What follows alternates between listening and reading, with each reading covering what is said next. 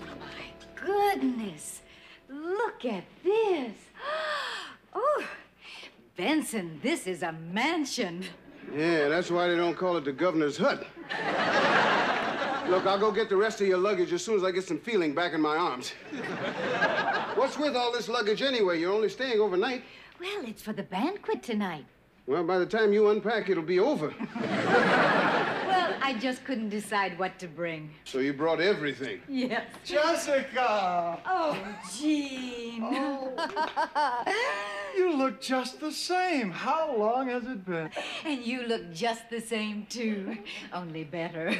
So good, in fact, I wouldn't have recognized you if you didn't look just the same. of course, you know, even if you didn't look just the same, I would have assumed it is you because, I mean, you are here, and you did know who I was. I'm glad we solved that. I, I can't thank you enough for filling in like this. The fact is, the lady I've been seeing usually attends these functions with me, but she had to beg off at the last minute. Oh, was she suddenly taken ill? Uh, no, she got married in Rio this morning. but you'll just love the Baron. What Baron? Our guest of honor is the Baron Jacques Darvanot. The guest of honor is a Baron? What'll I wear? I'll go get the rest of your luggage. You'll find something. A real Baron. The Baron's been a guest here at the mansion. He's thinking of opening a winery here. Well, Gene, I certainly think you have the room for it. I'm Not here, Jessica, here in the state. Excuse me, Governor. The Lieutenant Governor is in your office. Oh, well, tell him I'll be there in just a minute.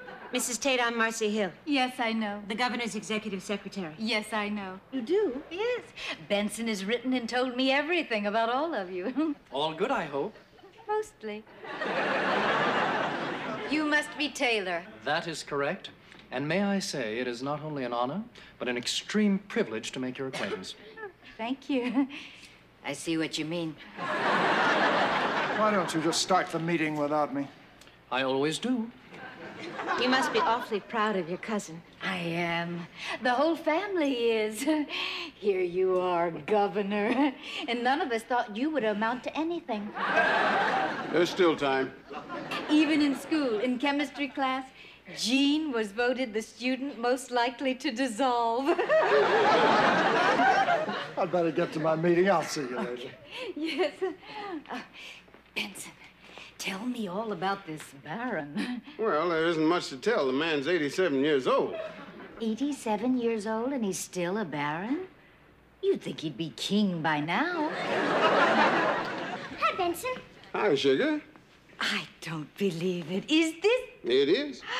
It can't be. It can. I don't believe it. You better.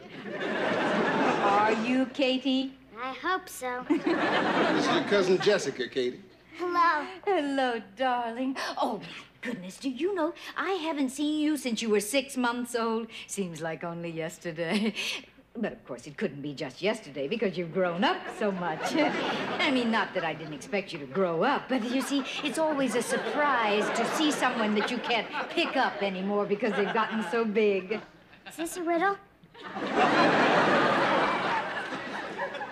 I don't think so. Would you like to show me to my room? Sure. Oh. Did the rest of the family come too?